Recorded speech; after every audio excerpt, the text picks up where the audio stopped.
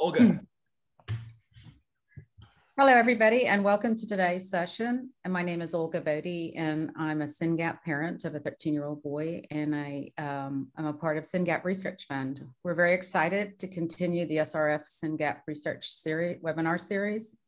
And the goal of the series is getting you closer to the science of SYNGAP, make you aware of the research that has been done and the opportunities to participate, empower your communications with clinicians as you get more clear knowledge of SYNGAP.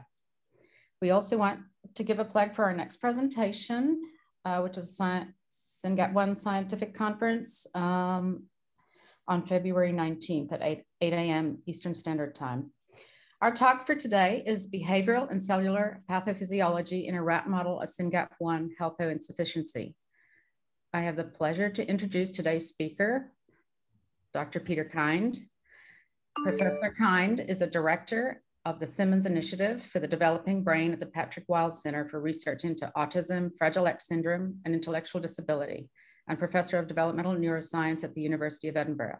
He is also Associate Director at the Center for Brain Development and Repair at, at the Institute of Stem Cell Biology and Regenerative Medicine in Bangalore, Bangalore, India. Professor Kind completed his postdoctoral training uh, with Professor Colin Blakemore at Oxford University and Professor Susan Hockfield at Yale University. Professor Kind received his PhD from Oxford University in 1993, and he joined the University of Edinburgh in 2020. The Kind laboratory examines the cellular and circuit dysfunction associated with monogenic forms of moderate to severe neurodevelopmental disorders.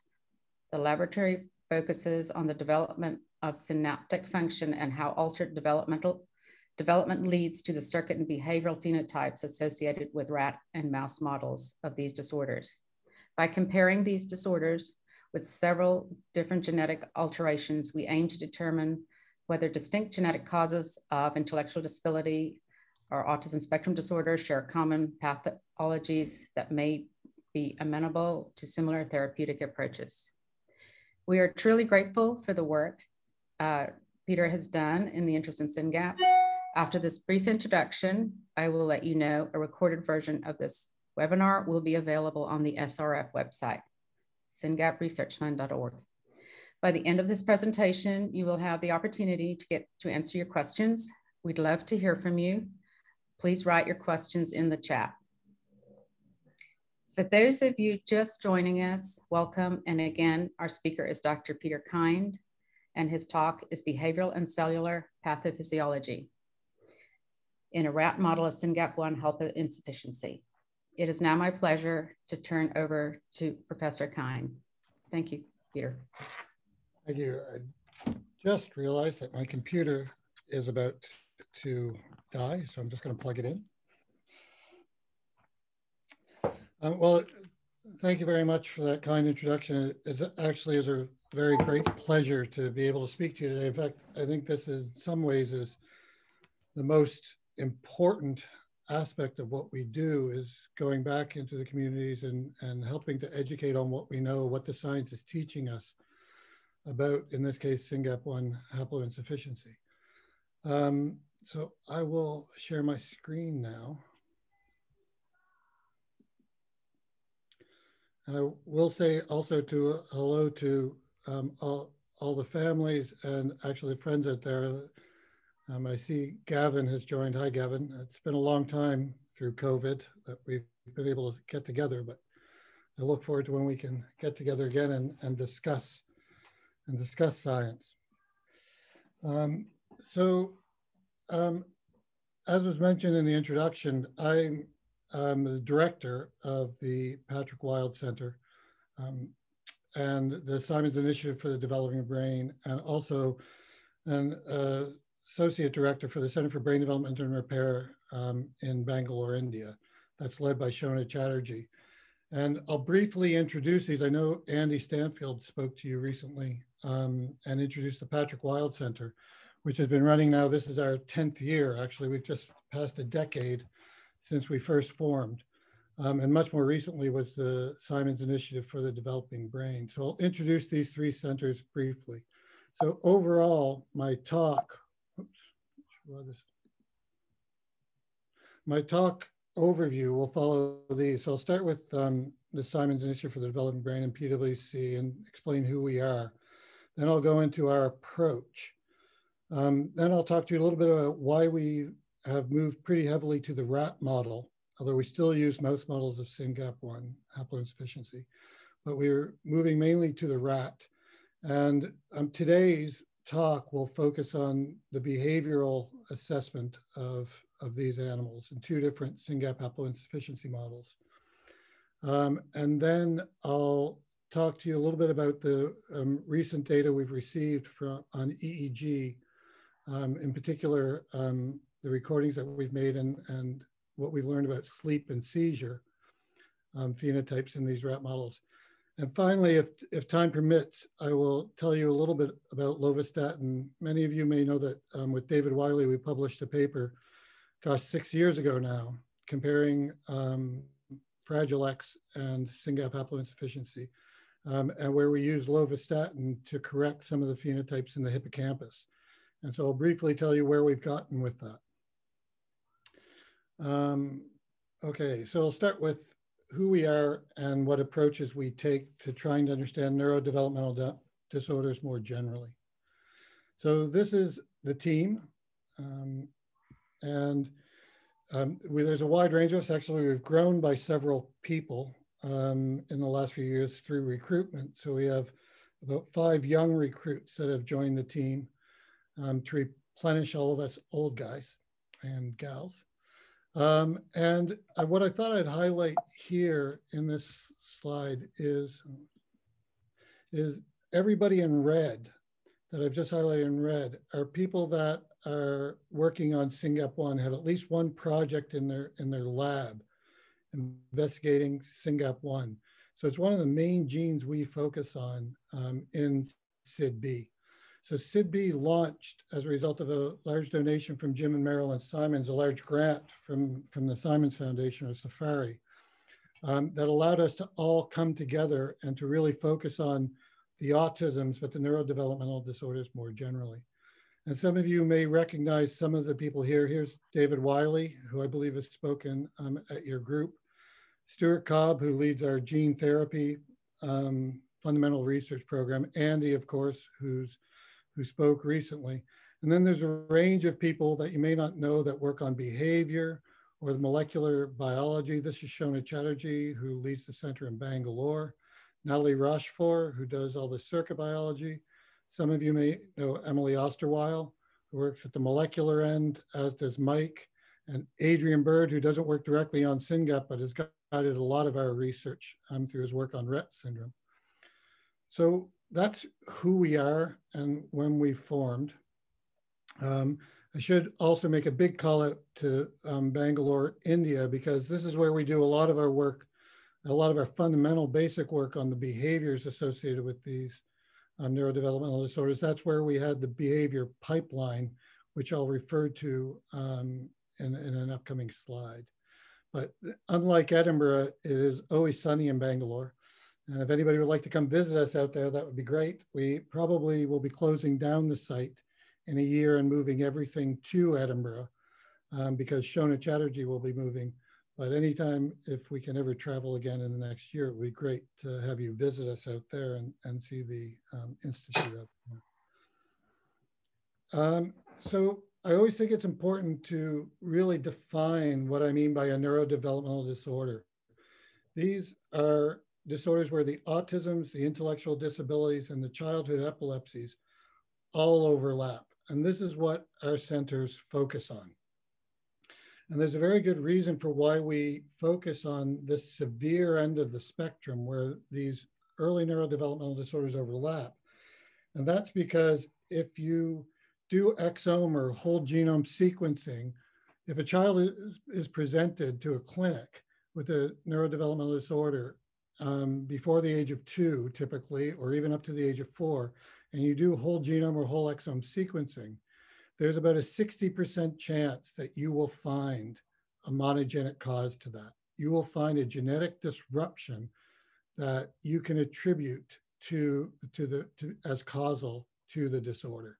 And this came out of work um, of the development, of um, uh, what's the, the DDD study, which is Deciphering Developmental Disorders, which is a UK and Ireland wide study, but it's similar to the studies that have been run by the by SFARI, where they've really looked into the genetic underpinnings of, of autism. And, and when autism goes hand in hand with intellectual disability, there tends to be a monogenic cause. Um, and SYNGAP and Fragile X are perfect examples of this. Now, in our center, we study a range of rat models, and that I've just put up on, on the right-hand side. One of the reasons why we focus so heavily on SYNGAP, is, well, there's multiple reasons. One is it's of all the monogenic disorders, it's one of the most prevalent. Um, but also, we've been I've been working on SYNGAP since 2005. I think I published my first paper on SYNGAP. And so we've been working on it long before we even knew that it was a gene that was causally related to neurodevelopmental disorders. Um, and it was the second rat model we made. Um, I think we originally made the rat model in about 2014, 2015, um, the first rat model, um, at following on from the, from the Fragile X rat model. Um, so why do we study this many genes? Well, because even though these are their own syndromes or their own disorders, um, really we can learn what we learn from one can tell us a lot about the other and can help us guide our research into the other. And this was really summarized um, from in multiple reviews that when the genetics started to be being revealed around 2011 were the first genetics papers that really looked into to the genetic basis of neurodevelopmental disorders like autism, um, they came up with the, they realized that these genes were not unrelated. And in fact, they clustered around particular biological process or, or biochemical pathways. So you can see um, the synaptic function represented here and there's SYNGAP sitting in here. You can see the chromatin remodeling genes is where Rett syndrome would fall into uh, um, MECP2 is the gene, or CHD8, which is the most common monogenic cause of, of autism. But you can see what the size of the dots represent on this hairballs-like structure is the prevalence. And you can see that SYNGAP1 uh, is one of the most prevalent.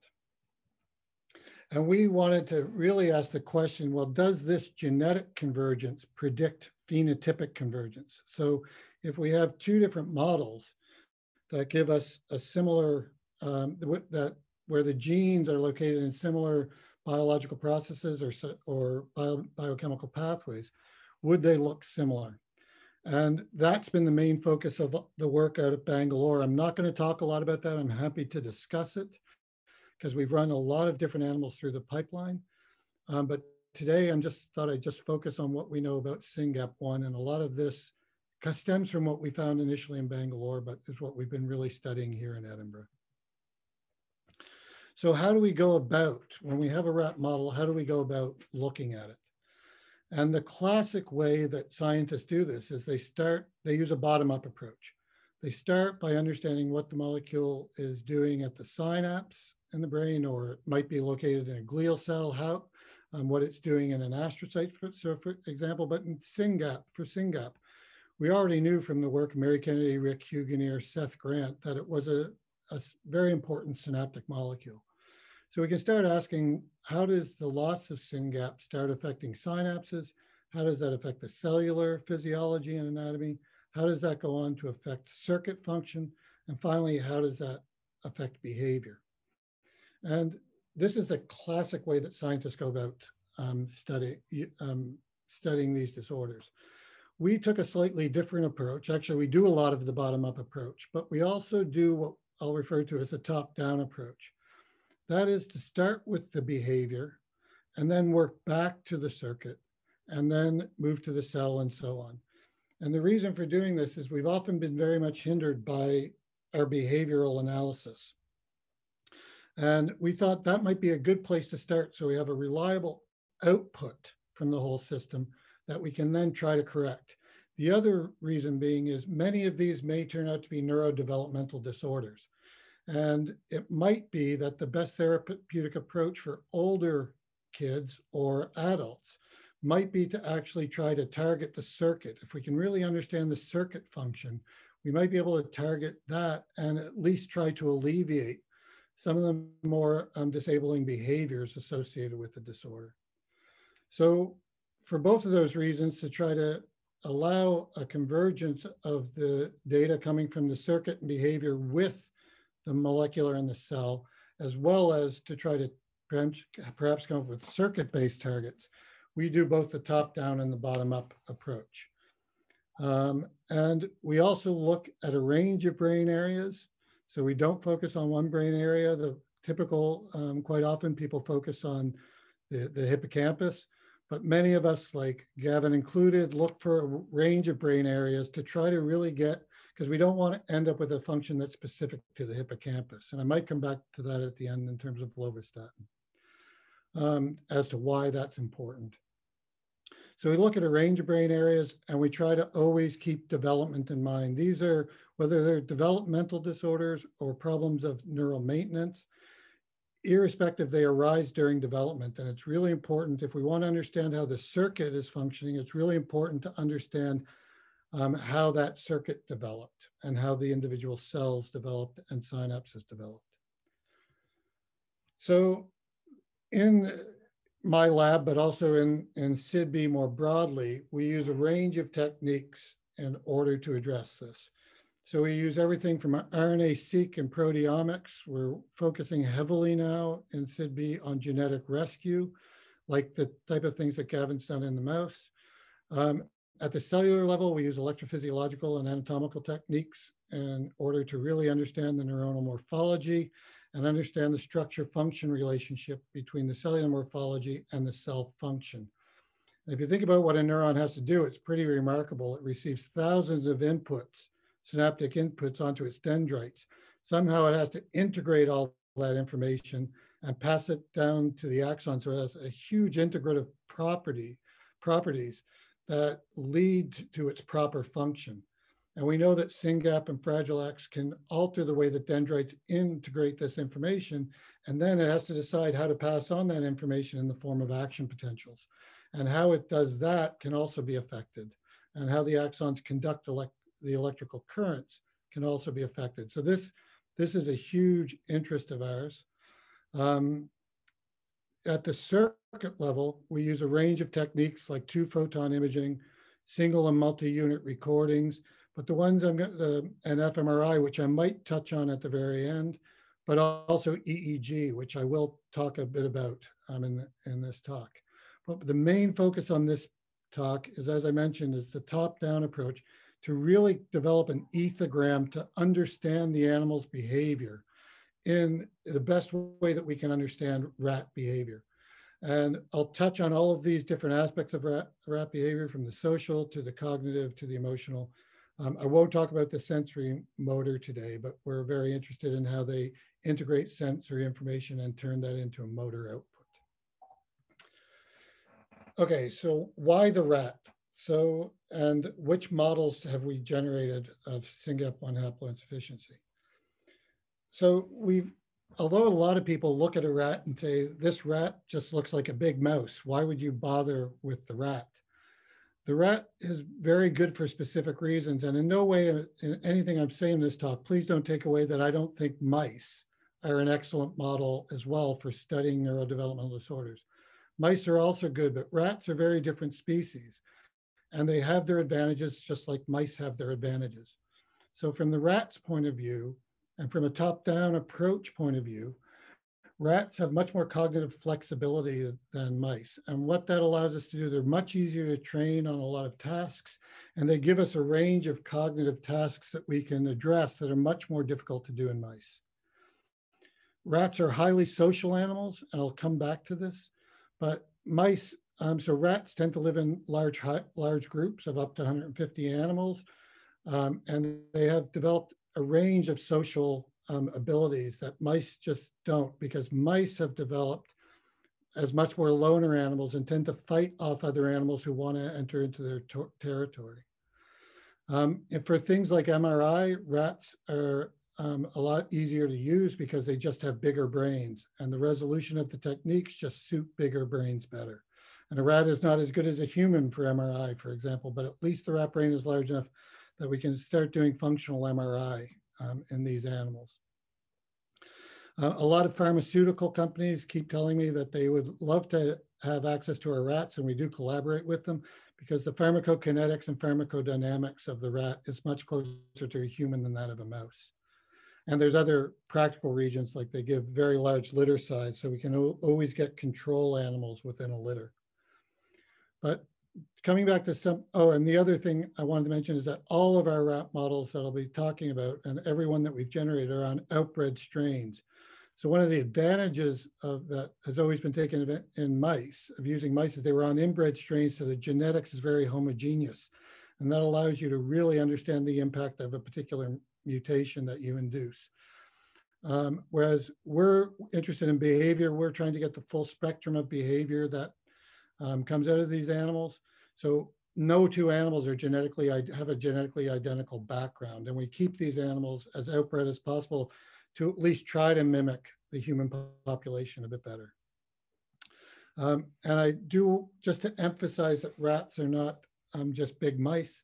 Um, they separated in evolution actually about 12 million years ago. And if you compare that to when we separated from the chimpanzees, that's about 6 million years. So the difference between um, rats and mice um, in terms of evolutionary is by six million years separated them more than what separated the chimpanzees from, from the Homo sapiens. So, okay, so, and so what that allows us to, it gives us a great advantage because these are very different species. Anything we see in a mouse or rat, in a mouse, we can always cross-validate that um, in a different species by just going to the rat um, and vice versa. And uh, you'll probably be happy to know that most of the things that we find in both SYNGAP and Fragile X, and typically wherever we've done the comparison, is at the cellular physiology level anyway. Everything that has been described in the mouse is very similar in the rat. They're not always identical, but they're always very similar. And I'm happy to discuss why they're not identical, but um, I think that's for very explainable reasons. So what rat models do we have? Well, you've probably seen a lot of schematics like this, looking at the, the genetic, um, the, the SYNGAP gene. And we decided, and then down below, you can see where all of the different genetic alterations occur, different types of genetic alterations from the truncating variants to the splice variants to the missense and in frame um, variants. So the big difference between these is these lead to loss of function, possibly through um, complete loss of the gene. And we've made one rat model to mimic that. So a rat model where you just don't have one copy of SYNGAP. Um, we've made a second rat model. You can see all of these point mutations, the majority of which, and I, this is probably not a completely up-to-date figure, but the majority of these do not um, lead, likely don't lead to a loss of SYNGAP, but lead to um, uh, altered function of SYNGAP, either because they're in the C2 domain or the RAS-GAP domain. So we made a model that lacks the C2 and the RAS-GAP domain. And I'm not going to have time to show much from that model. I'm mainly, or sorry, I'm not going to have time to show much from the um, complete deletion. I'm going to be mainly focusing on this um, PH2 and RAS-GAP domain loss because that's the model that we initially made. And I'm not going to show the characterization of it yet. That's um, in, in a paper that is currently on bioRxiv. But um, suffice it to say that the protein is made in the same levels and it still gets to the synapse. So it, it could serve all of its structural functions, but it lacks the enzyme, the main enzymatic functions of SYNGAP. Okay, so that's th that section. Now I'm going to move on to some data. Um, and I'll, I'm going to, as I mentioned, this talk will mainly focus on the behavior from the rat model. And I'll step through the various types of behaviors we do as examples. Um, and really, I'm, I, I would love, this is where I would really love feedback to see if any of these ring true with um, what you see in, in your kids. So I'll start um, I should, this is where I'll come back to the rat um, sort of what we call the behavior pipeline, so the rat behavioral phenotyping. And this is all done in Bangalore. So we run all, of our animals, and both the SynGAP models have gone through this pipeline as well for a range of tasks. And the reason why all of these tax, tasks were chosen were because um, they tap into particular circuits. And as I mentioned at the beginning, we want to tap into a range of brain areas, a range of circuits, so that we really, if we see a, um, a change in the behavior in, on any of these tasks, we, it will give us an insight into what brain regions might be involved and what brain regions we might focus on for more bespoke experiments. You can see that we do these across Edinburgh and Bangalore. Um, and it's constantly changing. So for example, this was not the original pipeline. The, everything in red are things that we've changed during over the lifetime of this pipeline, which has now been running for about four years. And I'm happy to share all of this behavior with, with any researchers who might be interested in using the rat. So they can start, and we send the rat out even before we, all the rats out before we even publish them to get the community to take them up um, so they don't have to wait till we publish. We're happy to, to share them. And, and indeed, the first paper from the full knockout came from Mary Kennedy's lab. We have not published on it yet, but we sent the rat to Mary and we um, published a paper with her and put the characterization of that rat in that paper. We're not interested in, in protecting these rats. We're more interested in them getting, getting used for the community. That we look at them as a resource for the community. Okay, so the first bit of data I'll show you, it really taps into the emotional domain. And we, for this, we use a very old paradigm um, that's slightly tweaked. So it's called fear conditioning. Um, it's a way of associating a fearful stimulus in an animal with a, a non-fearful stimulus.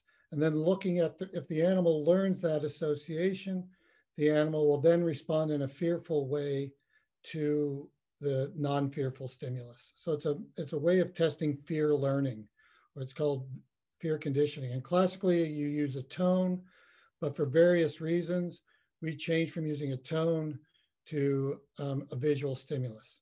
So here's the protocol we use. We habituate an animal to um, one chamber in a particular context. We then put them in a conditioning box and we pair mild foot shock um, with the flashing of a blue light. So we flash a blue light, and at the end of, of that blue light, we give a mild foot shock. And then we do this six times in this particular paradigm. And then we place the animal back in this neutral context. And we just flash the blue light. So now there's no foot shock. And we look to see the animal's response. Does it show the fearful response? And the fearful response we look at is um, freezing. So animals will, all animals in the wild will typically choose one of three responses to fearful stimuli, which is freeze, flight, or fight. So, so they will either choose to fight an animal, um, they will make the choice to run away from the animal, or they'll make the choice to freeze. And in this paradigm, we're selecting for the animals that freeze by putting them in a box that they know they can't escape from. And the fearful stimulus is not something that they can fight against. So we, we want them to freeze, and that's what they do in this paradigm. So here's the conditioning phase. So as this is when the animals are actually getting the shock, and you can see initially they don't know what to do. Here's the six foot shocks. But by the third foot shock, they start freezing. And this is just percentage of time spent freezing. And in all my slides, SynGAP is in blue and the wild type animals are in black. So you can see that both during the conditioning phase, both the wild types and the SynGAP um, heterozygous animals, and this is all the gap deletion animals, GAP C2 deletion, they freeze um, by the third foot shock, and they're freezing 80% of the time. These are animals that are not, these are just control animals that have not been foot shocked and just placed back in the context of flashing blue light. And actually these animals, it looks like they're starting to freeze. Actually, they're immobile, which is how we defined freezing. Um, and they're actually many of them are just falling asleep. So here's the recall phase. So this important recall phase. So 24 hours later, we now put them back into the neutral context. So nothing about them reminds them of the foot shock in this context. But we flash the blue light and we flash the blue light 12 times. Okay, that's shown here. And this is the freezing response we get. So here's the wild type animal showing a typical response. You start flashing the light, the animal freezes because he thinks a foot shock is coming. And then, whoops. And then you can see that as the number of presentations of this in the absence of a foot shock increase, the animal starts to learn that this um, flashing light no longer predicts a shock and they stop freezing. And this is called extinction. And the reason we use a mild foot shock in this case is so that we can study the extinction profile.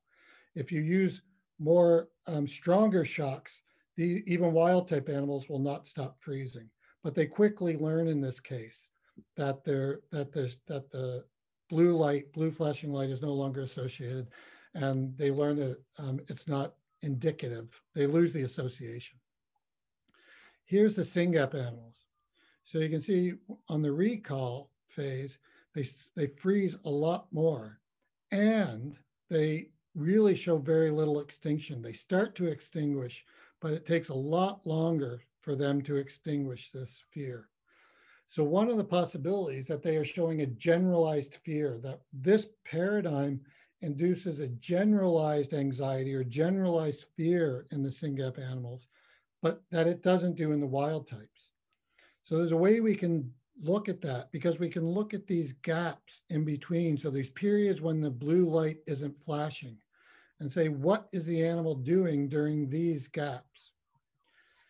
And you can see the, the wild type animals in the gaps, which are the dark shaded regions, they stop freezing. The blue light comes back on, they freeze, and slowly they extinguish, but they always show this discrimination of the blue light when the blue light's on and when the blue light's off. Interestingly, the SYNGAPs also show this discrimination. So they have learned that the blue light is, is predictive of the, of the shock coming. It just takes them longer to distinguish that, to extinguish that dissociation. And one of the interesting things, I'm just, I'm not going to go into physiology except for this one, um, except for this one figure I'm about to show. But we know that the medial prefrontal cortex plays a critical role in the extinction. And when we look at LTP or a form of synaptic plasticity in the medial prefrontal cortex in animals of this age, we can see that the SYNGAP um, animals show no long lasting increase in synaptic strength to a physiological stimulus, um, whereas the wild types do.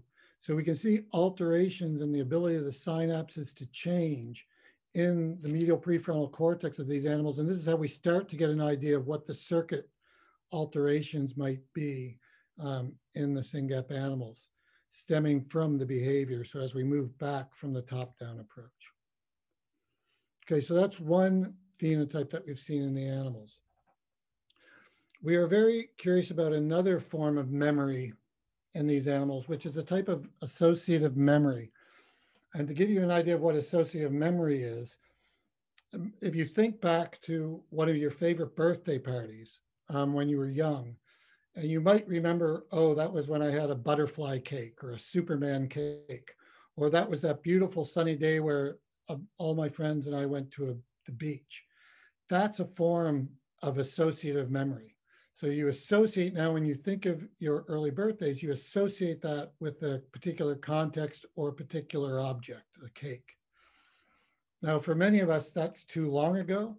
So in my case, I more think in terms of, I remember I associate a bottle of Barolo wine, for example, with a particular restaurant in a particular region of France. I know the wine's Italian, but I was in La Garde de when I had my first bottle of Barolo, Barolo and I love Barolo.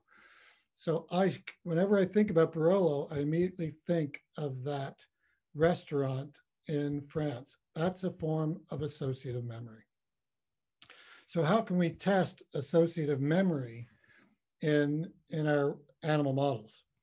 So we can do it through changing context, changing objects, changing the place in which those objects are located, and asking animals if they can remember it.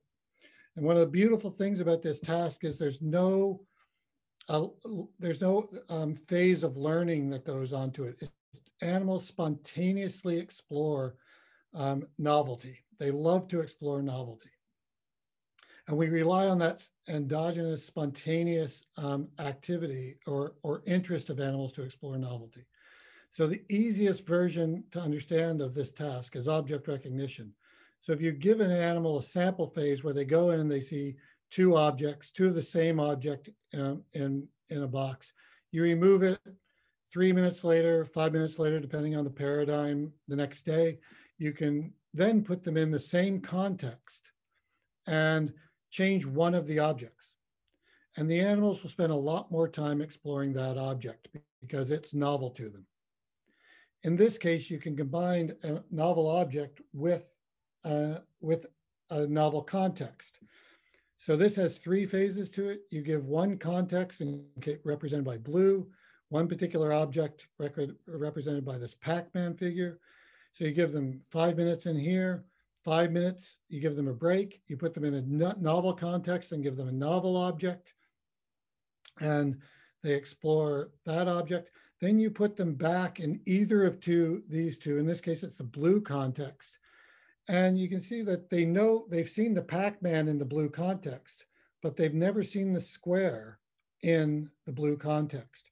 So in order to explore this, if they explore this more, it means they've associated the context with the object. And they realize they've never seen that object in that context. You can do another form, which is object place, which I won't go into. I'll just focus on this last one, the object place context. Um, and I'll give you, I think the easiest way to do this is to show you a few videos. Um, and here's a rat in phase one. So there's two different objects in a particular context represented by the white walls. And you just see the animal exploring the two objects. He's getting ready. He, he's sort of understanding these two objects. He's interested in them because they're novel to him. And he's associating them with that context. Now here's an animal. These are the same objects, the same animal, phase two of it. And you can see that the objects haven't changed, um, but they're in a new place and they're in a new context. So the animal will explore the objects equally pretty much and will um, uh, now associate this object in this place in this context. In the third phase, we give two of the same object. He knows this object from both of these contexts, but in the white context, the animal does not know this object in this place because this blue cylinder was in on the right hand side in the white context, but now in the white context, it's in the left hand side. He knows it in that place, but from the black context. And of course, I chose an example where the rat did incredibly well and spent the vast majority of its time exploring that novelty. So it has to bind together the object, the place, and the context. And this is obviously the hardest of the tasks. And this task we know relies on three different brain regions in particular and their connectivity, the lateral entorhinal cortex, the hippocampus, and the medial prefrontal cortex. So these objects, these other tests don't rely on those. The object in place, the object in context relies on the hippocampus, for example, and this gives us an idea of where to start looking. Interestingly, when we looked at the SYNGAP animals um, in these four different paradigms, and we create a discrimination um, index, which is basically saying how much more time do they spend with the novelty than the non-novelty.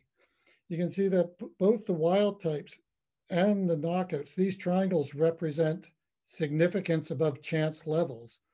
All of the animals, it doesn't matter the genotype, can do all of these discriminations, including the, the hardest one, the object place context. So they have, it appears that they have no problem um, with associative memory, forming associative memories. at least over the time frames, and that's a big caveat with all of these, over the time frames that we have tested them.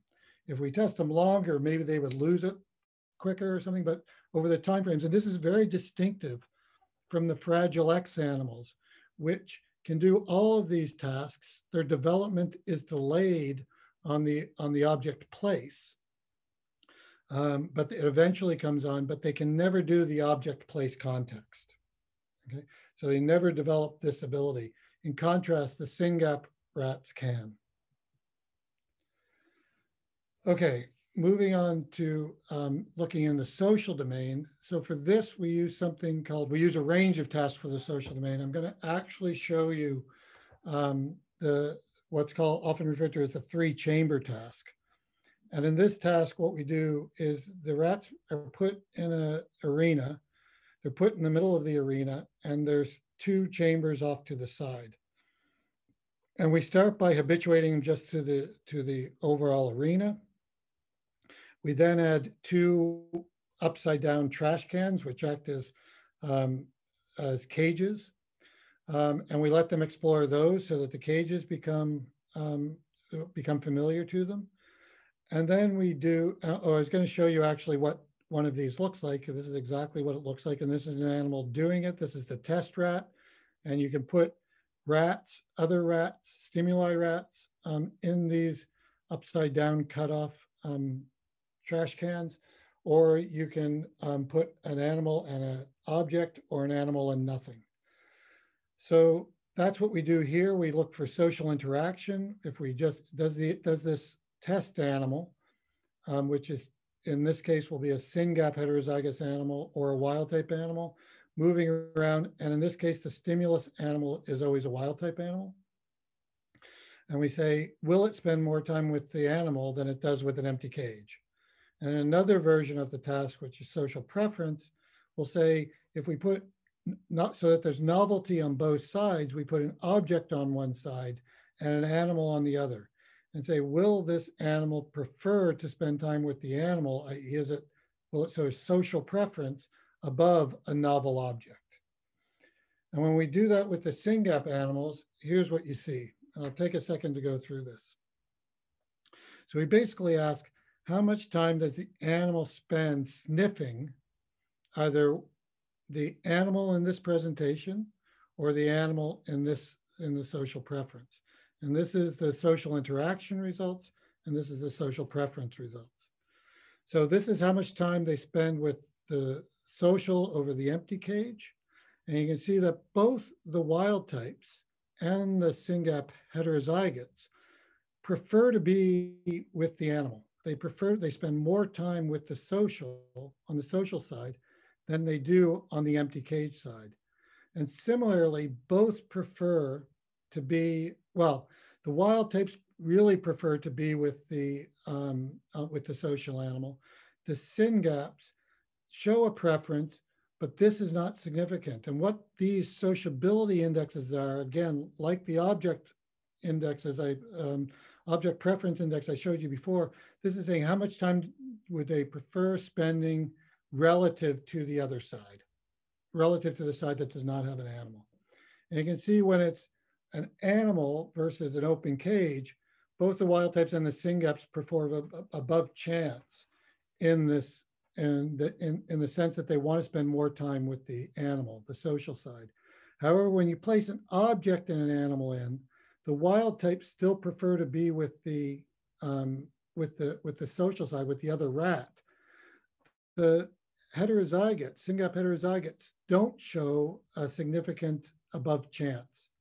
Now you can see that there's a lot of variability in the SynGAPs, and this comes this may come back. And if anybody wants to ask me about this, this may come back to the outbred nature of it, where some animals can do it and some animals can't. And that's also true for the wild types, but in general, the wild types can perform above chance and the knockouts can't. Now, one of the really interesting things that we noticed in doing this is that in, in this task, the SynGAPs just always explored less. The total time that they spent exploring the social side or the non-social side was much less than what the wild types did. So we went back and looked at total exploration time in other tasks. And this is just showing two, but this is very typical of what we see in all of the behaviors that we see. Here's that associative memory task. And you can see it doesn't matter which task we're doing or which week we do it in, the SYNGAPs always explore less the objects than the wild types do. And here's a marble interaction task where we just put marbles in a cage and say, it's sort of um, looking at how animals, act, the exploration of animals. And you can see that the SYNGAPs are far less interested in a novel object just being placed in their cage, i.e. marbles, than the wild types. And in general, this is a, this is a general feature of the SYNGAP rats, that they show a large decrease in their exploratory behavior. Okay, so now I'm going to switch um, sort of modes a little bit. And I'm going to not criticize these types of tasks, but talk about some of their limitations. So for all of these types of tasks that we take, we what we do in these traditional behavioral testings is we take the animals out of this small cage that they live in, or relatively small cage that they live in, which, uh, which obeys all ethical standards. And then we try a range of techniques. We ask them to do things and we associate what they're, what these are telling us. So we devise these tests specifically to look at their motor skills, if it's a rotarod, curiosity. Here's a picture of that marble burying uh, or marble interaction task I just talked to you about. Here's the associative memory tasks, and here's the social behaviors. These are these are tests that we've devised, or when I say we, I don't mean us, I mean the, the community has devised um, over the years to tap into different aspects of behavior. But there's issues with these traditional ways of testing. One, as I mentioned, it's restricted to experimental derived tasks and it may miss key phenotypes um, that these animals have, but we're just not testing. There's also a question in the field of whether we should be using, moving to more ethologically valid tasks, i.e. what does the animal normal, what would a rat normally do in a wild environment? Um, and should we not be tapping into those rather, trying to tap into those rather than the things that we might be interested in? And this touches on an issue that um, we've talked a lot about in, in SIDB and with many people around is that is one of face validity, and that is that the model that we generate should look like the human syndrome. And we separated from, the humans separated from rats 70, 80 million years ago, and they went off on their own way of evolution. Rats adapted to the environments that they would want to be in, so did mice, that they, that they evolved in. Typically for mice, dry arid plains, for rats, swamps and trees. They, they evolved behaviors that were appropriate for their evolutionary context. These are very different from the behaviors that humans have evolved in. So the behaviors might look very different, even though the underlying circuit biology, the use of the medial prefrontal cortex, the use of fear conditioning um, or fear uh, circuits, these might these are tapping into the same circuits. We know that from MRI imaging and from um, and from electrophysiological recordings, but the outward expression of the behavior might be very different. So the problem with using these is they were devised, these um, traditional ways of behavioral testing are devised to tap into things that we think are important for the disorder rather than how the disorder, thinking about how the disorder might present or the same genetic um, alteration might prevent, might present in a rat or a mouse or a zebrafish for that matter. The other problem with these tasks, or what can be a problem, has to be very carefully controlled, is the um, it can be confounded by the emotional state of the animal. So as I mentioned, we typically take the animal from its cage and then put it into the task. We know very little about what that animal was going through in the cage prior to it coming down. So it may have just gotten into a fight with its cage mate, for example and it might be in a highly stressed state. We don't know that when we're putting it into the animal, and this can confound and change and question the reliability and reproducibility of our results, which is why some labs may get one result on a behavioral test and another lab may get another. They might be running the behavioral test the exact same, but because of the nature of the animal house and the way the animals are living, it will place the animal in a different emotional state. Um, and it can also be confounded by the experimenter. So we've known for a long time that there tends to be differences depending on whether there's a male or female that's actually running the experiment. Um, but also whether the, what is very key is whether the experimenter is confident in handling the, handling the animals and comfortable with the animals, or whether they're not and whether they're stressed out because that passes over to the animals. And just like the emotional state of the animal, that will change as the, with the emotional state of the experimenter. So what would be ideal is if we could run these where we know what the animal prior history of the animal is, plus we can, as much as possible, remove experimenter bias. So we've spent a lot of time thinking about this in SIDB and how can we possibly mimic a natural environment of the of rats. So to do that, we really need to understand a little bit more. And this is what I referred to back at the beginning of the talk on why rats. We know a lot about rats and how they live. So they live um, in these complex burrows and tunnels underground. They um, live in large social groups of up to 150 animals. They have very complex social behaviors. They hunt together. Um, their, their sexual behaviors are very complex.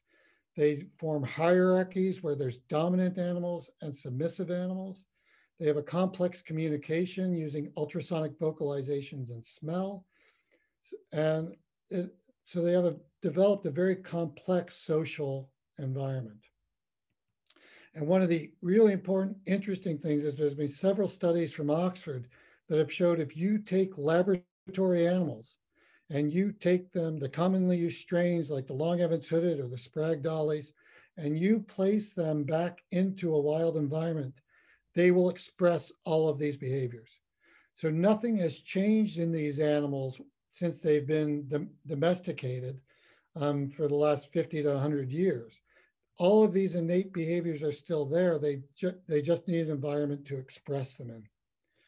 And so with all of these things in mind, we developed something known as the habitat. Um, so we were trying to come up with a way where the animals could express all of these complex social behaviors, spatial memory, associative memory behaviors, where we could look at motor coordination, circadian rhythms, and their reaction to novelty, amongst a few different things. And one of the other things I should have mentioned is one of the things that rats do during development is they develop a very complex play behavior. Um, we believe that this is very important from other people's research in, developing resilience um, in, in, in the rats in their social hierarchies. And um, this is something that rats have that mice really don't display. So again, if we want to touch into these developmental play behaviors and, and the use of USVs and understanding how they communicate, we really needed to move to, to rat models to do that. So this is what the schematic that was initially drawn up looked like. You can see it has these, trying to mimic the burrows. It has these series of tunnels. It has ladders that they can crawl through. Um, and they can go up, they can go in a range of different levels. And they can, um, we can put up to 50 to 60 animals and still be in home office compliance within the habitat. This is what it looks like in reality. Um, so we can film all of these animals. We have camera points where we can film them. Here's the little ramps that they can go up to get vertical access. They can dig. Um, they have lots of tubes. This tube goes between two across the module to, to, to attach these two. We have short tubes and we get easy access to them in case of fighting that we can stop, etc. Oops, I keep tapping that. And each of these modules, well, not, uh, we hope to have each module, but right now we just have ultrasonic vocal um, detectors so that we can get a broad understanding of what vocalizations are being used while they're in this habitat. So here's very preliminary data. So we've had a, one group of SYNGAP rats go through, and in this case, um, we have wild types, we have the gap domain deletions, we have the E8s. I would say generally overall, it's very difficult to tell what's a gap uh, what's a SYNGAP heterozygote from an E8, their overall general behavior going um, of they can climb, they can do everything that the wild type do. And if we look at the total transitions between different modules of the habitat, there's really no difference between the wild types, at least in this first cohort that's gone through. In this case, there were 21 animals placed in the habitat, seven wild type, seven gap domain deletions, and seven E8s, which are the full deletions. We can start to see hints that they may not be um, identical. So if we look at the amount of time that they want to spend on each floor, we can see that the SYNGAPs spend most of their time on the bottom floor. So they, they while they do climb and they do go up even to the top floor, they spend very little time on the top on the top floors. Um, if we when we put them in the cage, we put them in the bo- in, into the habitat. We put them in the bottom, and we say how long does it take for them to get to the top floor? You can see that the SYNGAP, the latency to the top floor, the SYNGAPs, both the gaps and the E8s, really take a much longer time to get to the top floor. And this is the maximum time. So these animals up here have never reached the top floor. Um, in the four hours that they're in there, they just have not reached the top floor. This is on day one. And if you look at day two, more of them are going up, but still four of the gaps still don't go anywhere near the top floor. So we're starting to see differences where perhaps we don't know why this is, but we're starting to see differences in their general behavior where they really don't like spending time in the top floors. We're very interested because this one of the main advantages of using the habitat, and I should have said, right now the animals go in for four hours a day and they go in for consecutive days. This is not what we want. This is not why we built the habitat. We want them to live in there, but we had to show to the ethical review boards and the, and the home office that give us our licenses to do animal work, that the animals wouldn't fight. And I'm happy to report that in these preliminary experiments, not only the SYNGAPs, but none of our models fight as long as we give them time to habituate with just their cage mates to it. But when we put them all in, the full 21, and we've gone up to about 35 animals, we see very little evidence of fighting. But we do see this um, Apologies for the spelling mistake. This should just say antagonistic behaviors. These are behaviors that animals do to set up their hierarchies. So we see animals sort of fronting one another and standing up and boxing each other, and they try to lift their nose above the other one to, to express dominance. We can see these little skirmishes where one animal will pin the other. And we can see wrestling. And while the animals don't do it a lot, they're they're in these um, each day they're in there. They're in there for 1600 minutes or four hours, or is that right? Yeah, four 2400 minutes. Um, they spend very little time doing these actual behaviors, right? But they still routinely do them as they set up these as they set up these hierarchies. Um, and what it looks like is the SYNGAPs in this first cohort. The SYNGAPs spend more time boxing, doing the boxing behaviors, at least the gaps. And again, this is one cohort, so I don't want to make too much of it. But it does appear that they spend more overall time in the antagonist, doing these antagonistic behaviors. And we're, we can now start testing whether they actually form differences in their hierarchies. Are SYNGAPs more likely to be at the top of a hierarchy because they spend more time doing these? Do they spend more time doing the antagonistic behaviors with each other? Or do they spend more time doing them with wild types? These are all things that we can now start to address in terms of how they um, and how they behave. And we have a lot of predictions on this, as I'm sure um, you might as well. Um, but we are, I should mention that we are at the stage now, come um, May, we're going to be able to start allowing the animals to grow up we've gotten the permission now, so we're, going to start allowing the animals to from weaning to grow up in these habitats. So the last bit, I'm not sure how I'm doing time-wise. I'm probably going way over. It's been an hour already. Um, so I'll just quickly run through the EEG sleep if that's okay. Would you like me to keep going and see the sleep and seizure Yeah, yeah. What I'm seeing is that people are utterly fascinated, and you're going to get hit with a lot of questions. But, okay. but please keep talking. This is this is lovely. Okay, okay. So this, in terms of sleep and seizure, we needed a way of properly look, seeing seizures. So for the first, I would say three years, we had the GAP animals. We did not notice that they were having seizures. And in the next slide, I'll show you examples of that, and you'll immediately see why. So here's a cage of animals, the long Evans hooded. These are long Evans hooded for obvious reasons. They have this black hood, which is how they got their name. And I just want you to watch um, this video. Turn off the sound, there's no need for that. So watch this animal in particular. Do you see what he's doing? That little head bob. You'll see it again in just a second. There he goes again. Now he's going to stand up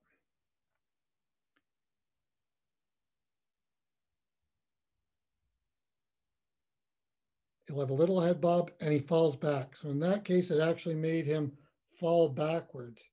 He has one more, and that's really the end of, the end of the video. So you can see in that short clip, this animal had four of these seizures.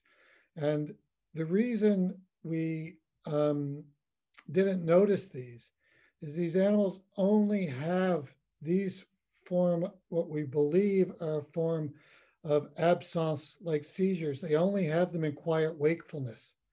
So we never saw them when we were running them through their tasks. We only saw them. Sally Till, a very good postdoc in the lab, noticed these when she was upstairs with the animals in the cage. This was before the habitat. But we assume we would have seen these on the videos in the habitat. And we have seen some since um, in the habitat.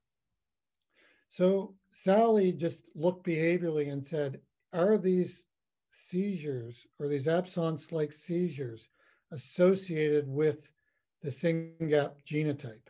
Because at that point, she didn't know. So these are how we sort of score them, um, these various features. Um, and she just said, of 23 gap domain um, deletion animals and of 18 wild types, how many animals in, in the wild types or the knockouts gave gave um, these seizures. And of the ones that showed seizure of the wild of the SYNGAP animals, all of them showed this form of seizure activity. In the wild types, only one did. So one out of 18 versus all of the 23 in the initial cohort she looked at. So this made us feel confident that these were associated with the deletion of the gap in the C2 domain. We now know that we also see them in, in the full deletion heterozygous animals. But we needed to make sure that these were seizures. And for that, we had to go to the EEG and um, to see if we could record epileptiform activity in these animals that corresponded with the seizures. And we did see that, and I'll show you some examples of that in a minute. So the, the, the system we use is something that, what's nice about the EEG is it's non-invasive. And what we can do is we can stick a 32 um, channel, or in some cases 16 channels, onto the skull of the rat. And these can either be tethered to a recording system or what we have up and running now, and you'll see for the sleep scoring, animals that have a telemetry system that send the signals back to a recording system um, so that the animal can be freely walking around and doesn't have a long tether to, to the actual electrode. And in this way, we can record out of 16 or 32 channels and really measure the seizures and how they spread across um, the cortical surface. And the same thing for the sleep. So here's an example of one of those recordings from a from a SYNGAP rat. So here's those 32 electrodes that are placed on the animal. This is what one of those um, grids actually looks like. This is a tether system, and you can see these long wires that have to go on, which can be quite cumbersome for the animal. It's very much easier in a rat than it is in a much smaller mouse. but you can do, but we've done the recordings in mice as well, and, and they are quite straightforward with both the tethered and the, and the telemetry systems. And these are the types of recordings we get from 10 of the, those electrodes. And based on the location of the electrode and which cortical region they sit above, we can associate the activity with a particular quarter, um, cortical region.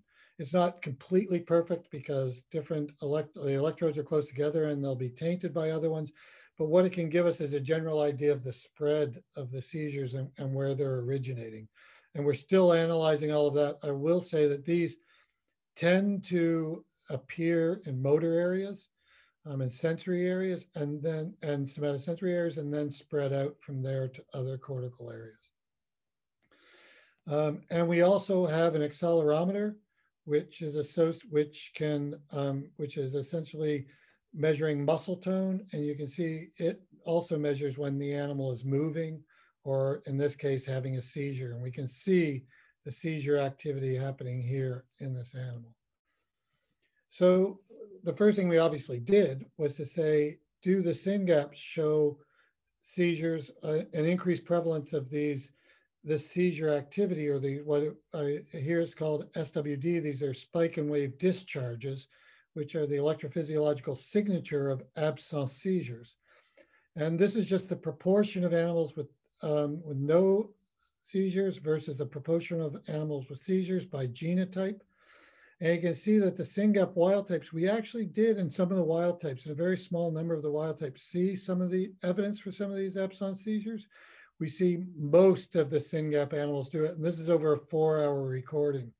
We now know that all of these animals show it, but they weren't part of this in this four hour recording. And that's not true for the wild types. If we look at these animals and we look at how long are the seizures and how frequent are they, we can see that the SYNGAP animals show, again in blue, show much longer on average, or show a much greater number of these spike wave discharges. And you can see they show a much greater duration.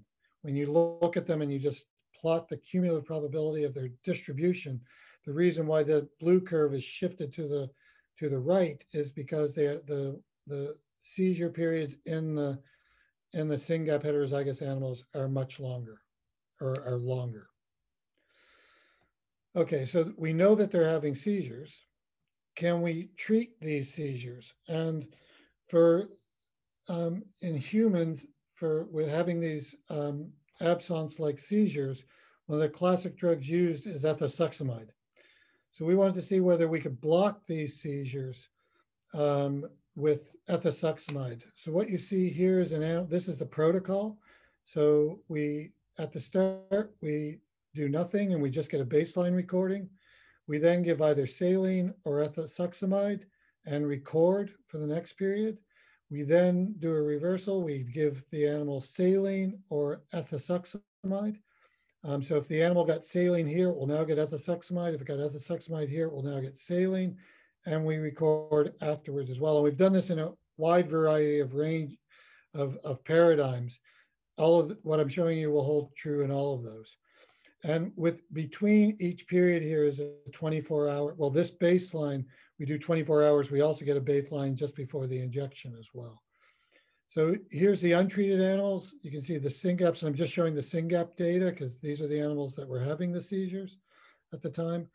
You can see they're having a range in number. When we give the ethosuximide, we see no evidence of seizures in them at all.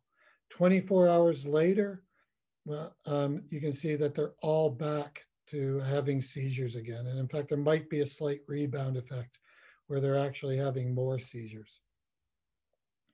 Um, we can do a seizure index. So this is saying if we, so combining all of these together, if we do ETX um, versus pre-ETX, so that'd be this versus this, we can see that we completely block the seizures. This is post-ETX right? So this um, versus pre-ETX.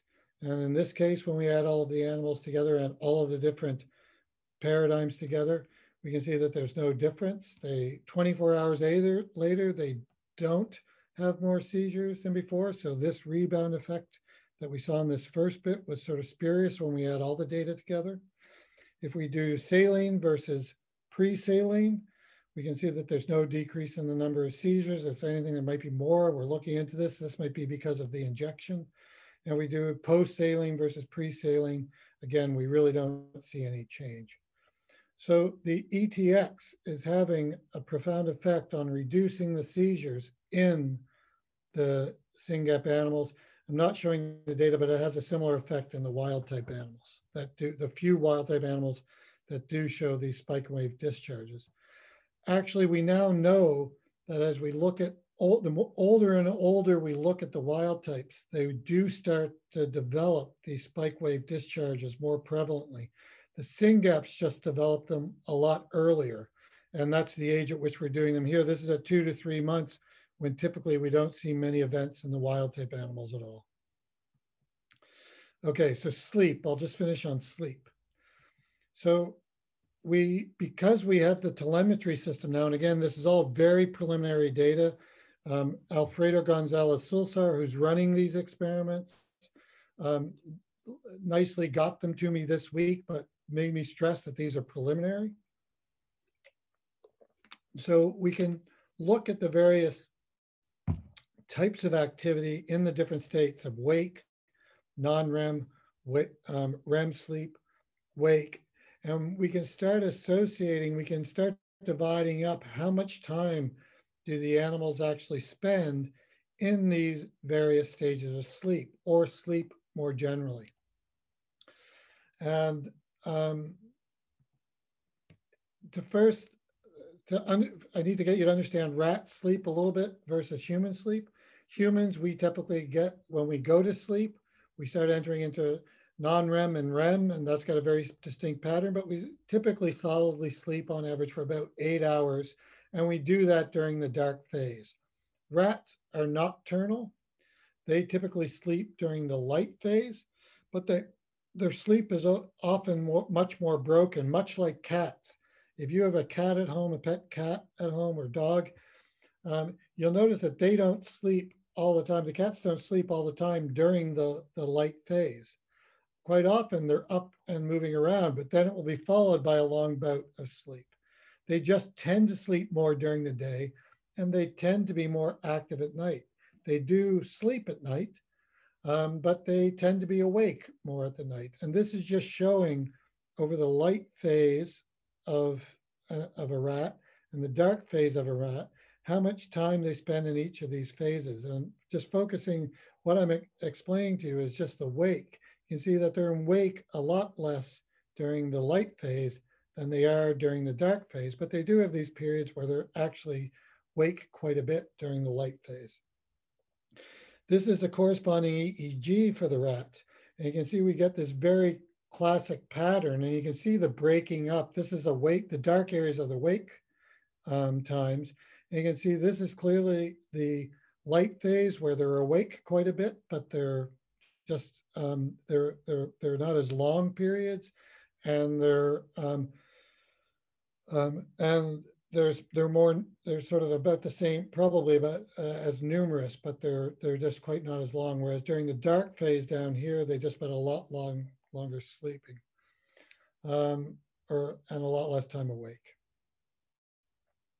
Um, so we can characterize all of these in the SYNGAP rats. And again, you can see from the numbers, this is quite preliminary. We've actually run it, we've run, we're now up to about 11 and 12 animals in each condition, um, but they're still going through the analysis. And I didn't, and Alfredo just broke this for me for the first four and five.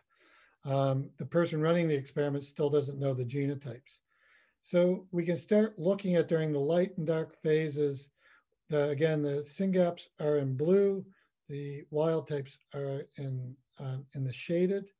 And if I just cut to the chase, if we look at the total amount of time in wakefulness, syngaps are awake more of the time, right? Even with this low N number, it's already statistically significant. Now this low N number, even though it's statistically significant, I would take it with a grain of salt. It appears that they're spending much more time in the wake phase, but as we add in the full cohort, and we always do that to make sure this might normalize out, but as a starting point, it appears that they're um, that that they spend more time awake um, and less time um, in uh, asleep in the REM phases. Um, if we look at the dark period, we can see that they spend more time, um, they spend more time awake in the dark period and less time in the REM phases during the dark time when they normally be awake.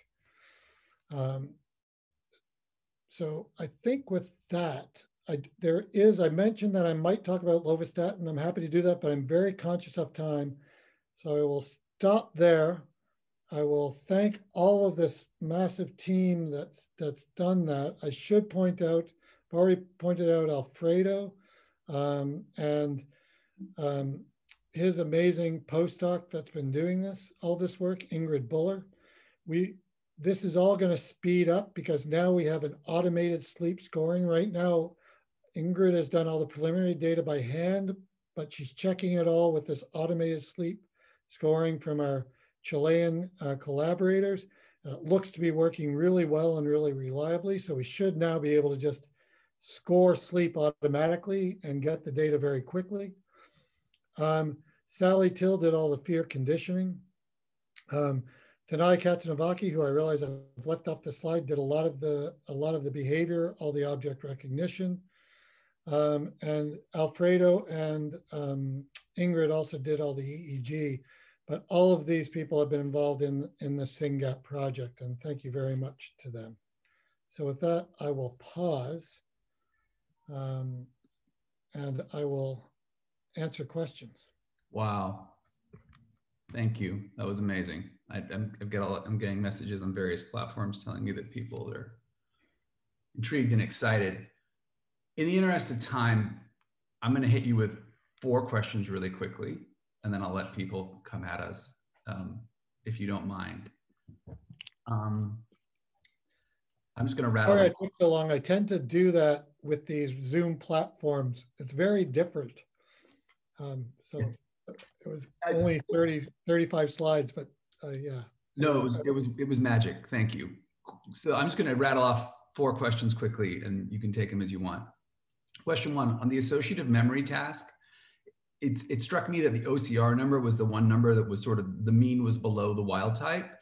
And did that, and I'm wondering if that brought down the complex score. And then related question, if, if that was a correct read, does that point to a specific brain region that was particularly affected? It's a, it's a really good question. So yes, what we've found in the SYNGAP animals generally is they give us more variability. They did they reached criterion, so they were actually statistically above chance, and they were not different statistically from the wild type animals. So from a statistics standpoint, they are not different from wild types. We're looking, you can analyze all of this data in, in, in multiple ways. And one of the things we're looking into now, because your hunch is absolutely right, it looks like some animals aren't doing it, but some animals are perfectly able to do it. And I think what we're seeing in the SYNGAPs, which I alluded to in one of the um, phenotypes, is that there's an increase in variability. So it's not that all the SYNGAPs can't do it, but some SYNGAPs don't do it. And we don't know whether that's because of this issue of attention, that they just show a lack, a de general decrease in exploration.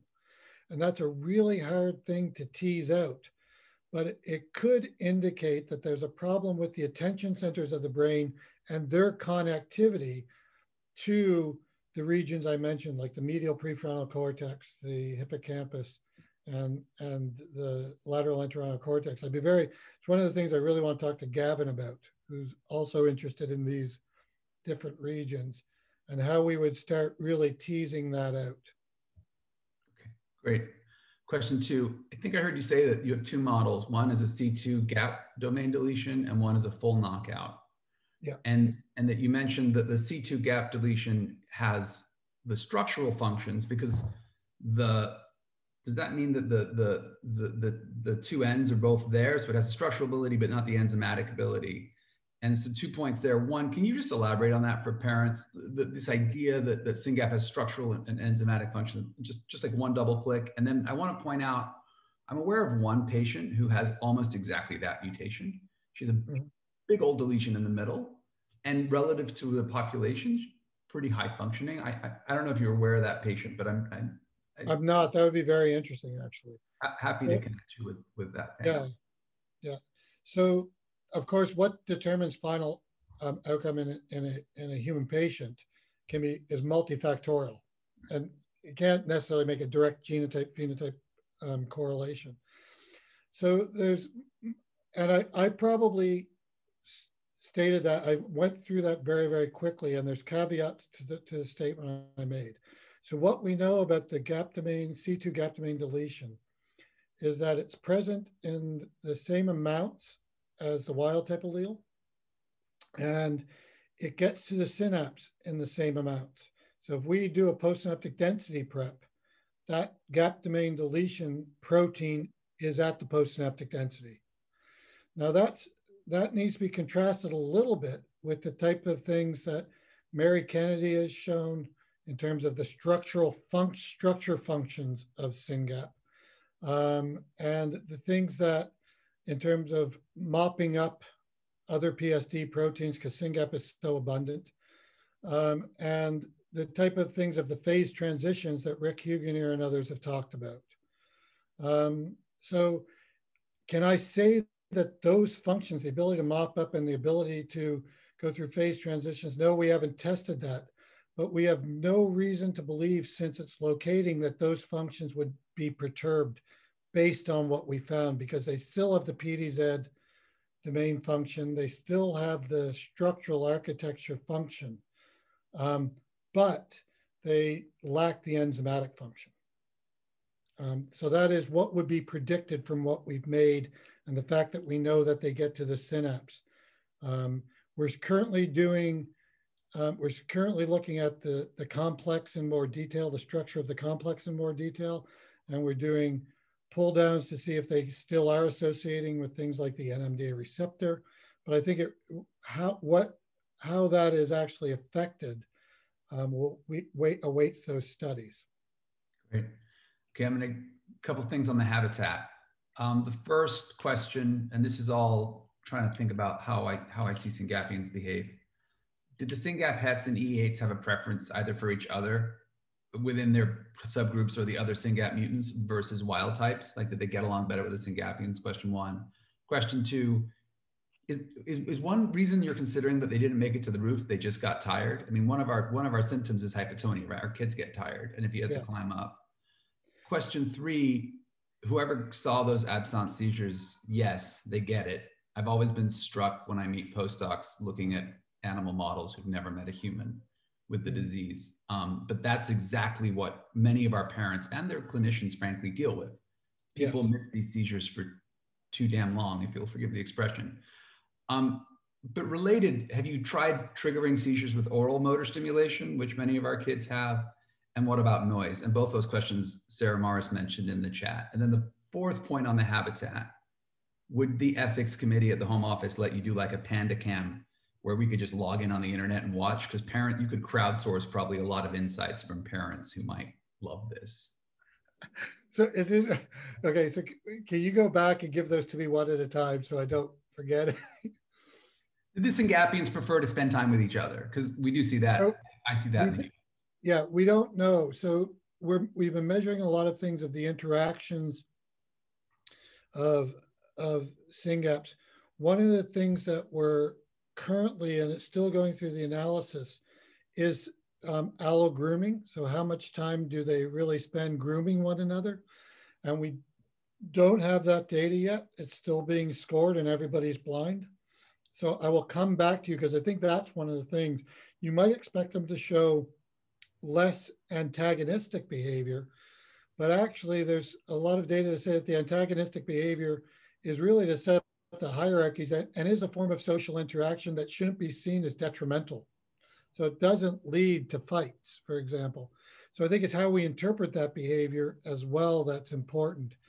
As soon as I have that data, I will let you know. So I would say the, the, the first cohort that goes through, so keep in mind, one of the problems with the habitat, I wouldn't say it's a problem, but one of the limitations of it is we put all these animals in there, 21 animals, for statistical purposes, the N is one because it's one cohort going into the habitat. So we need three or four cohorts going through before we have any statistical power to say that.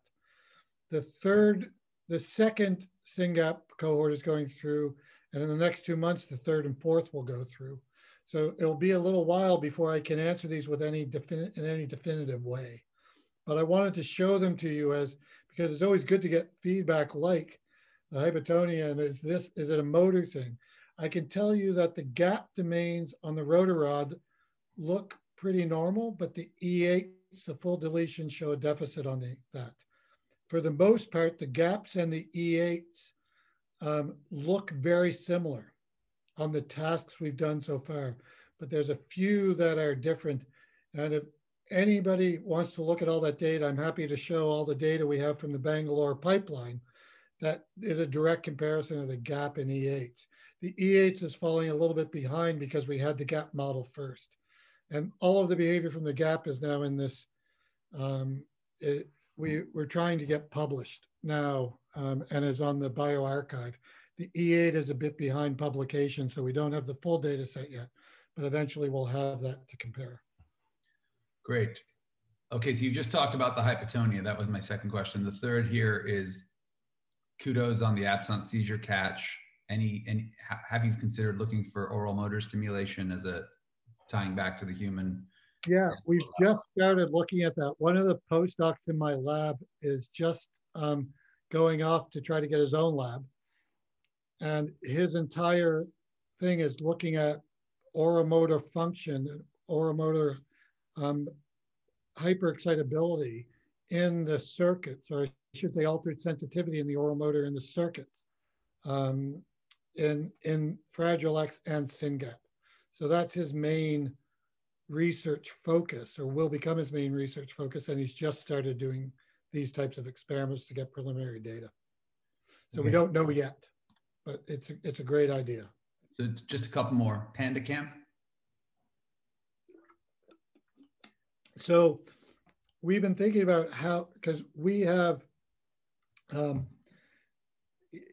as you can imagine, we've we've had I think six different lines go through the habitat, and each we have for most of them we have eight days of recordings, four hours each, so we have 32 hours of recordings. and currently we have a whole army of undergraduate students doing it, but we've discussed something like PandaCam and it would be great if if if people were interested that the most difficult thing for this it depends on uh, which level. We're happy to have pandacam to for people to observe the animals. You have to remain blind and the way we recognize the animals is because they all have a number on their side. Mm. okay? So if you saw something you'd have to write in and say i saw this. So if you just wanted to observe them and say and look for interesting things we're happy to do that. Um, if we if, if it was if anybody wanted to get involved in actually helping score right actually doing the scoring you would have to be trained on the software which is all commercially available. And we have i have an amazing postdoc who i should have mentioned um, angie harris who's led this whole project. So i should also mention ollie hardt oliver hardt. It was his brainchild not mine that came up with the habitat and Angie has led the, and overseen, I think now 12 undergraduate students and, and about an equal number of master students to do all this scoring. We could train anybody who wanted to, because it's pretty straightforward training to do the scoring um, for these individual behaviors, which would obviously speed things up immensely if, if, if people were interested. And that could all go through that. I would check, I'm pretty sure we would be allowed to do it um, but I would I would need to check with the um, the university and the ethics approval. Um, but because this one of the main reasons we devised this was for to improve ethical treatment of animals, so they could live in a proper habitat. Um, sim, more similar to what they're ethologically relevant. The vets love it, and they're they're here and they're thinking about starting it. And it's all home office compliant. So I, I would think we might be able to do that, but I would need to check. We should talk about that. It could be fun. So I'm going to throw two more at you. Sleep the, the, on the sleep issues. Absolutely. I think once parents get seizures under control, or if, if, if, depending on how bad they are, the next two things they deal with are behaviors and sleep. Um, So are you, I don't know, if, I'm sure you're aware of it. I don't know if you've read that paper by Shilpa Kadam in behavioral psychiatry. I think it's behavioral psychiatry. Yeah. Um, but she she observed in there that a lot of the seizures were clustered in the I think it was a mouse model she was looking at and some human data that the seizures really clustered around the sleep wake and wake sleep transition and I couldn't tell in your slide if if that's what was happening there. Well, I sort of alluded to that that the, the we always see these in, when in quiet wakefulness right before sleep. So we never see them in the when they're actually asleep. We we don't see them in um, non-REM and REM at least at this point. Whether the automated analysis will pick some up, we don't, we don't know, but the vast majority of them are when they're in quiet wakefulness, about to go transition into sleep. Um, we never see them when the animals are actively awake, which is why they typically happen, happen in the home cage and we never see them in the, um, when they're doing a task. So when they're attending to something, we don't see them. The other thing I'll say is we have seen in a couple of occasions, um, and the 24-hour monitoring will help with this if it, if it's if it is a real thing. Occasionally, they transition into a full tonic-clonic, right? But, but not often when we're watching them. Which is what we see in the population, right? We see a range. Exactly. Yeah. Um, so if you if you turn to the Q and A, Gavin's hit you twice, and Thomas has reinforced Gavin's second question. People actually are very interested in the low the statins. Okay. Um, so should I? Uh, really quick. I don't. Um, let me quickly show you some data. I can give you the summary very quickly. So let me start sharing again. And this is not I will, one is I'm not going to talk specifically about SYNGAP um, in the sense of, but it's, it's a little bit of a, of a warning that because we find one thing in the hippocampus, don't assume it will translate to other brain regions, which is what, back to my original thing. So these were the two papers that we've published on lovastatin, the one that everybody here will be familiar with, I think, um, that was from 2015, I think it was, that um, was a, from a combination of mine and David Wyllie's lab, where we showed that the hippocampal pathophysiology in terms of the LTD phenotypes of the plas synaptic plasticity could, in both Fragile X, which Mark Barrett had shown previously with Emily Osterweil, and SYNGAP, could be rescued um, by um, lovastatin. Um, and in and the basal protein synthesis deficits um, or increase in basal protein synthesis. We subsequently published in Fragile X, and I mentioned that these animals show the object place context, a big deficit in object place context. And we showed that we could get sustained correction with lovastatin treatment. If we treated, treated lovastatin from four to nine weeks of age, um, when these animals are developing, um, the, the ability to do these tasks that even if we remove the lovastatin later, we could get a permanent recovery um, of that, of the object place context um, task, the ability to do this associative learning. Um, now, the SYNGAPs didn't show that, so we never went on to test that in the SYNGAPs. But we really wanted to test in the Fragile X animals how general this was. And the one thing I want to point out, and I think it's really important to discuss these things with family groups, is in nowhere in these titles did we mention lovastatin because much the way we use lovastatin is as a way to tweak the ERK pathway to try to understand the biochemical pathways. We didn't want to highlight this as a potential treatment for the disorders. And I highlight that this is a classic way that re translational research has gone, we go from gene to mouse to therapy to clinical trial. And I really would advocate for a much more complex model where we spend a lot of time, we go to gene, we go to multiple species, we try to cross-validate, we spend a lot of time doing this. We use, we try to understand the biomolecular mechanisms, understand circuit dysfunctions and go back and them. And eventually, when there's consensus, we go for targets for therapy and go into clinical trials. The, showing lovastatin works in one brain region um, to correct a particular phenotype, I don't think is a reason to immediately rush to here, even though I know that there's a gigantic desire for that. Um, so we, in looking to see, to trying to get at what, when we do these drug treatments, what is actually being rescued. And we started this in Fragile X. All of the SYNGAP animals are now going through an MRI study very similar to this. We look at we looked at the FMR1 knockouts versus wild type animals in the default mode network. So this is basically looking at this is this is the network that lights up in humans when you're not really doing anything, you're not doing a task, but you're just self-reflection, you're thinking. So you're not asleep, but you're just thinking. Um, and you're recalling different aspects of the day or whatever. So if we look at the default mode network, what we see, and I'm going to really whiz through this, is that there's greater activity. There is a reduction of activity. So this is wild type greater than knockout in the wild types versus the fragile X rats. Okay. We can look at that in using these sorts of correlograms. And the brighter the image, the more functional connectivity. Now, this is not the number of axons or anything like that. It's the way that different brain areas come online together and activate together. So it's the functional connectivity. And you can clearly see that the FMR1s show this decrease in functional connectivity. So we can study this over development and we can see how this emerges over development in the rats. And we can, we really see this coming online in 15 week old rats that this, the connectivity slowly increases over development in wild types, and we just don't see this same level of increase in the FMR1s. So what happens when we treat our animals with lovastatin over the exact same time frame that we, um, over the exact same time frame by which we treated to rescue that OPC deficit, right?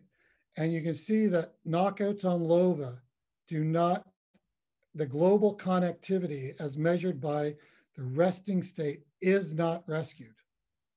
We still see in this other cohort of animals the difference between the wild types and the knockouts, but we do not see um, the, the rescue in the resting state networks.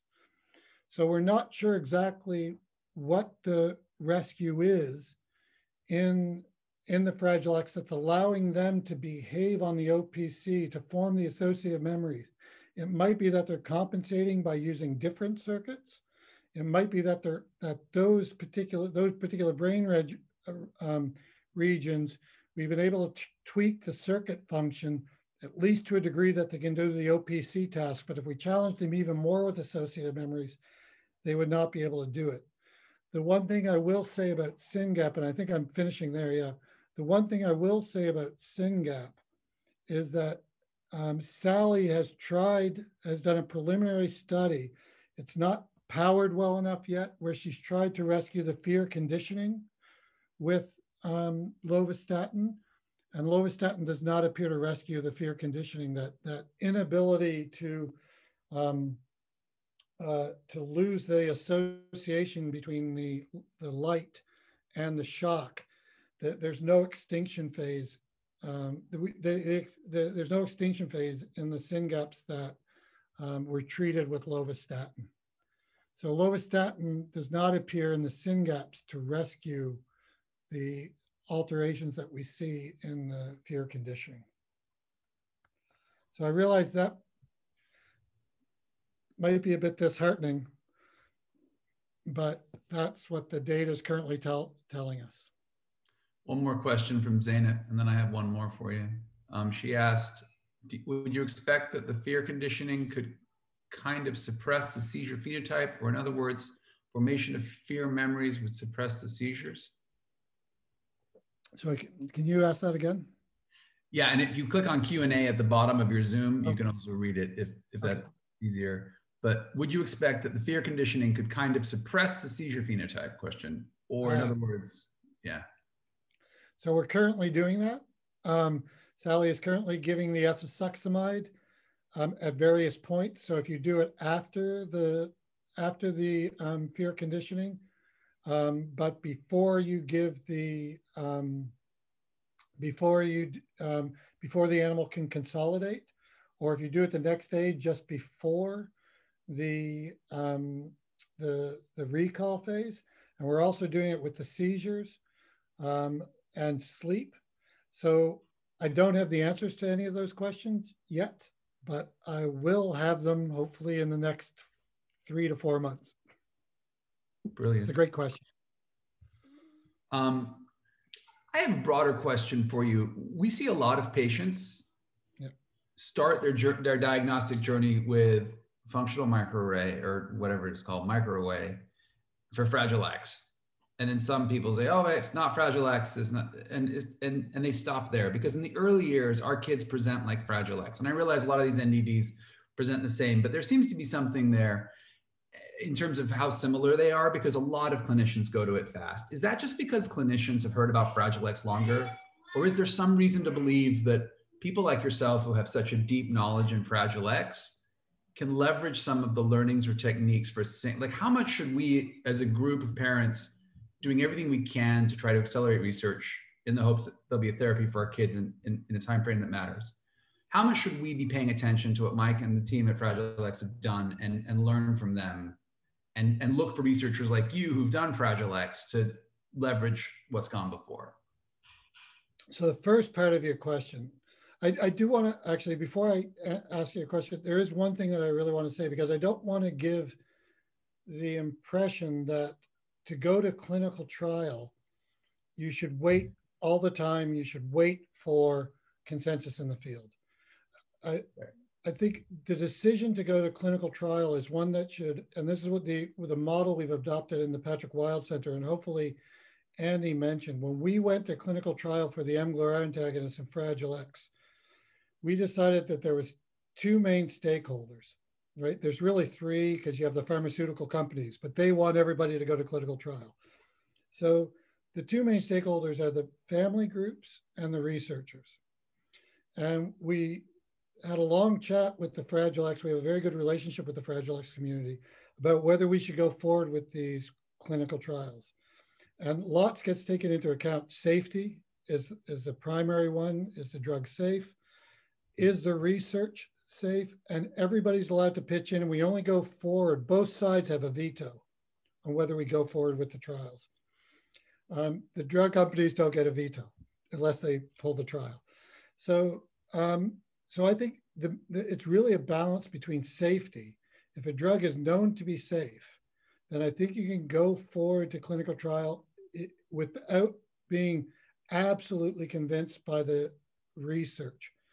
But then it, it should be, we should be very open that we're going through because it's a safe, it's a safe pharmaceutical and not because the underlying science is so overwhelming, right? The science takes, unfortunately, a really long time. So to get consensus in the field that that that to to go to clinical trial, I don't think it should always hold back clinical trials, but it should certainly be one thing that's considered in terms of going forward for clinical trial, if there is. And I've seen this happen in Fragile X, where things have gone forward to clinical trial because one lab finds something and um, and it, before it's even published, that goes forward to clinical trial. And then when it actually gets published, no one can repeat it, right? And then they say that the mouse model or the rat models are bad. It has nothing to do with that. It had to do with that the science wasn't so great. And we rushed forward to clinical trial, spent all this money on a clinical trial that shouldn't have been done. Um, I don't, I think a lot of it is what you said, although the caveat is I don't spend a lot of time with either SYNGAP patients or with Fragile X kids. I've met a lot in my time, but I am not the clinician. That's a really good question for Andy. My guess, though, is that Fragile X has become the go-to because it was one of the first disorders, monogenic disorders, found. And a lot of these different disorders, the initial presentation is similar. So it's the go-to thing. Um, so if you're not presenting with massive seizures, then the go-to will be Fragile X, right? If there are a few seizures here and there, but the seizures actually are much more likely to develop over time, So CDKL5, for example, is very, very unlikely to be diagnosed as Fragile X because one of the first things you tend to see in CDKL5 is the seizures. But SYNGAP might be more in that category where you it might get diagnosed as Fragile X more. You would uh, you will know more about that than I do. Um, what can we learn from Mike? I think what Mike and the Fragile and, and Fraxa did that was amazing was these small grants right? And we actually adopted that in SIDB. So we, um, and actually way, way back when we formed the Patrick Wild Center, we said, how do we get, we don't have a lot of money, but we have a bit. How do we get people to work on Fragile X or SYNGAP way back? And we went to the researchers and said, what is the bottleneck for you to not do what you do, the beautiful work you do? Why aren't you applying it to our models? And they said animal costs. So we paid the animal costs. It was five to 15,000 for them to do a pilot grant. We said, we'll pay them, you do it. And that's how we got people interested. That's how we built up a portfolio of people working on these monogenic forms. And that's eventually what, you know, led us to being able to, um, to apply for the Simons money and really dramatically expand.